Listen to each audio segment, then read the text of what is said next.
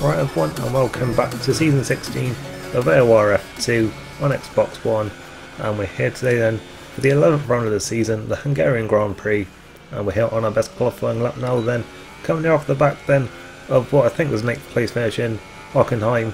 A little like less than what I was hoping for in that race but you know still some uh, well some points on the board. So uh, yeah we'll take those in and you know try and keep sort of our sort of point scoring momentum going and I think it's a good track that well for us to be coming to for that to continue because it is a track that I do enjoy. It's one that uh, you usually have some pretty good fortune at and usually have some decent pace at. I wasn't really sure like going into this one how quick I'd be but you know sort of since the Force Indias have left I think a lot of people are sort of you know sort of seeing it as their opportunity to you know get some good results and I think sort of all through the field you know people can sort of like set their targets a bit higher now so I guess that is certainly an upside to them both leaving, even if it has sort of, sort of depleted, you know, the numbers a bit. So we'll have to see then how we can do here today then, as we're coming to the end of our final qualifying lap now then. We're in 14th place at the moment, so want to improve on that. As we come to the line then, we actually go up to 4th place then, and in the end it's 5th, but still that is, uh, well, a great qualifying for us and far better than we've had at any point this season. Uh, we've got Infamous Glaze on pole from Melanie, Verstappen and then Pelger in front of us. LGS down in 12th, but yeah, that is our best qualifying since USA Season 14 in AOR that is. So yeah, a long time since we've been this high up on the grid. We'll have to hopefully convert it then in the race and we're going to go there now. We're here for race day then, just outside Budapest at the Hungaroring for round 11 of the season then, the Hungarian Grand Prix and it's looking like it's going to be clear skies for today then. It was uh, sunny in qualifying as well. And yeah 27 degrees very sunny day here then. It doesn't look like the weather's going to be playing any part at all as we're here then. For the 25th time in Hungary uh, sort of in our league racing tenure. And it is actually our most successful circuit on the calendar then. We've had 8 wins here and well 15 podiums with 8 wins including that. We've had 8 wins at Suzuka as well but not that many podiums. So yeah, this is our most successful track and uh, yeah, we've done well here in both seasons of AOR so far with points finishes in both of them, so hopefully we can make it three uh, this season then. As we take a look then at the circuit, and it is 2.7 miles, 14 corners, very tight and twisty uh, track, not a lot of straights, and yeah, whilst the overtaking opportunities and a few and far between. But uh, yeah, certainly some some overtaking opportunities and particularly into turn 1 then, DRS zone, the heaviest braking zone on the uh, track then up the inside or, or around the outside you can make moves done. And also if you get a good run out of there you can uh, yeah, go for moves in into turn 2 it is a DRS zone so there's a chance for overtaking. But apart from that it is quite hard to get moves done as we found out in the Apollo League then. Um, yeah the rest of the track then not ideal for overtaking opportunities as it is very much one way in a lot of other places but yeah, we've got the ultra soft tyres and the soft tyres and the mediums, but the ultra soft really uh, not a good race tyre here at all. So here's going to be the soft tyres and the mediums that we are running with today. Then, as um, yeah, we should be able to do that quite comfortably at a race. It's really just a case of uh, what lap to come in. Really, do we try and go for an undercut, or you know, do we, uh, you know, try and have fresh mediums sort of towards the end of the race, but uh, yeah, we'll have to wait and see then really how the race pans out. As we're, we're sort of in very unfamiliar territory, has to be said, up this high on the grid and it has been, yeah, as I said before, a very, very long time since we've been in this sort of position, so yeah, so, certainly a bit of pressure I think really to, you know, convert it now, but can see literally everyone except for Hayden is on the soft tyres and Hayden is on the mediums. So yeah, looking like pretty much everyone on the grid is going to be doing the same strategy here today then. As yeah, we're coming now then to the grid. Hopefully get a good start here then. And uh, yeah, that'll set us up nicely for uh, yeah, this first stint of the race as everyone is now filing onto the grid. And yep, the lights are coming on now. Away we go then. And it wasn't the best start to be honest with you there. We were a, bit, little bit slow away from the line there. And we've got X-Power then uh, looking to pass it in. We've got a nice gap in front of us then which we can you know go into but we've actually locked up a bit there, braked a little bit too late, and uh, yeah, well, best qualifying in nearly two seasons, and we've almost immediately bottled it then with uh, B for an X Power going through, but uh, still in a decent position then, seventh position, but uh, yeah, we've really just uh, thrown away two positions there, which is quite frustrating. But um, yeah, we just got to try and stick with the uh, the front six now then. And uh, yeah, we, we have the pace in qualifying, so hopefully we will in, in the race as well then. As we got B for an X Power then side by side in front of us then.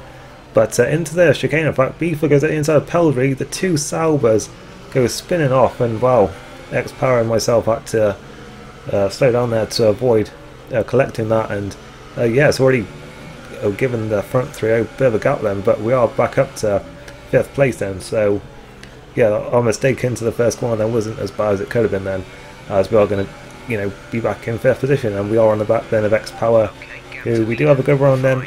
On lap four, we're going to try and go for the overtake then into the first corner, and yeah, we're through then up the inside. He is still there though on the outside. We're going to have to try and stay ahead if we can then. We do have DRS, but he will still be very close into turn two. Uh, into the corner then we do get tapped round, we're trying to save it. We get hit again there by I think Rosberg. And uh, luckily we got away with that one, but uh, yeah, it's all piling up behind us. It's, oh yes, it's certainly benefiting for this then, so that's good for us then. But well, what's not good for us is that we're now a long way off this podium battle, and any chance of a podium here then is pretty much gone unless one of them gets a load, load of penalties or as an instant. But um, yeah, we're lucky then to get away with that instant. Then got tapped round there by X Power, but uh, yeah, luckily nothing came of it. And um, on to lap 12 now, then where Dralex has come through field. Then from not, I'm not sure where he started, but he's got a good run on this end. Into turn one, we had to go defensive there and we just about managed to maintain our position then and stay in well what is now P3 because I think Marnie paired there before us so uh, we're up into the podium place then temporarily because we're still defending this position then for Andralex and it looks like we have just about managed to maintain it. He did a good run now at turn 3 but turn 4 is very difficult to overtake especially on the outside there so uh, yeah we had that one covered uh, fortunately so uh, we're going to skip now then to later on that lap where at this point I was just trying to avoid an undercut happening on us. So uh, I decided to pit there. Then could have maybe done a lap or two more, but I felt that that was, uh, you know, probably the best time to pit then, just to avoid getting undercut. So when we come then for the medium tyres, I don't think there's going to be much risk of us coming out into traffic. So um, yeah, that is going to play into our hands hopefully then, and it's just going to be a case of hopefully getting the uh, tyres up to temperature nice and quickly. And yeah uh, well hopefully we won't get overcut then. so yeah I don't really know like if there is like an opportunity or not uh, undercut or overcut if there's like a big advantage to one or the other but yeah it's still very close then with Dralex only a lap later so I think it's very much down to pace I guess but yeah we just managed to edge out Dralex there then and yeah we maintain our position over him then another lap later, we have got Franglish then coming out of the pits, and he is just in front of us, in fact. So he has actually made the overcut work. So uh, yeah, we'll have to try and sort of mug him if we can on those cold tyres. Uh, we do get a great run in out of the first corner. We're going to go round the outside into turn two. He does break very late though, and we saw that, so we're going to try and do a switch back here then. And it works out very well for us then. We're going to leave as much space we can through turn three, and on my screen he understood into us and nearly hit the wall. So yeah, I don't think that was what happened on his screen, but I think just desync there because, um, yeah, on my footage there, you can see I left as much space as I could, but um, yeah, unfortunately just contact. But luckily we got away with it, no crashes, so uh, yeah, that was very good for us then. And honestly, not a lot happened after that. It was a very tense race, but just not a lot happening because, yeah, I just had to just keep as much of a gap as I could really to stop Franglish getting close enough with the DRS to actually make a move into turn one.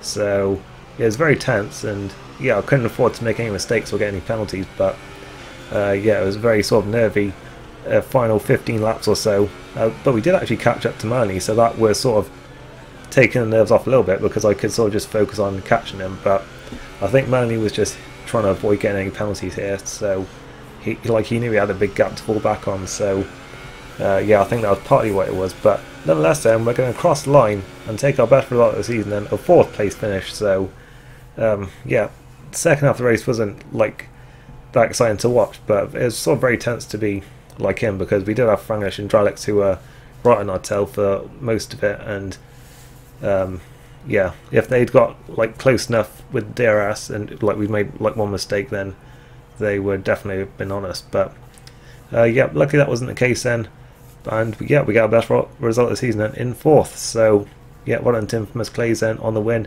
with Verstappen in second and Melanie in third, uh, extending his championship lead, I think. And looking down then, it's a double points finish then for Ferrari, which I want to say has happened so far, but I'm struggling to think of when it has. But yeah, well done to our teammate then on picking up some points in ninth.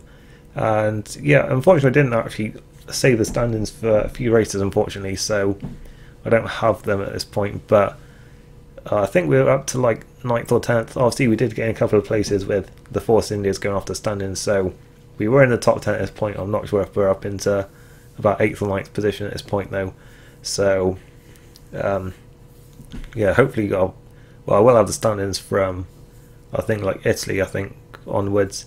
So yeah, sorry that you won't be seeing them for a few races, but uh, yeah, nonetheless then hope you enjoy this one. Leave like we did. I'll see you next time for the Belgian Grand Prix. Thanks for watching and goodbye.